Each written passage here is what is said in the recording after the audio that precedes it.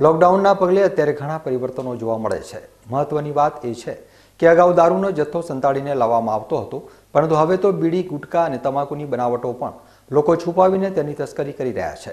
તો કેટલાક લોકોએ આ લોકડાઉન દરમિયાન આવી ચીજવસ્તુના ભાવો ચારથી પાંચ ગણા વધારીને તેનું કાળાબજાર કરવામાં આવી રહ્યું છે. ત્યારે આજે ભાભરમાં એક રિક્ષામાં પાર્લે બિસ્કિટના કાર્ટૂનમાંથી બુધાલાલના પેકેટ ઝડપાયા છે.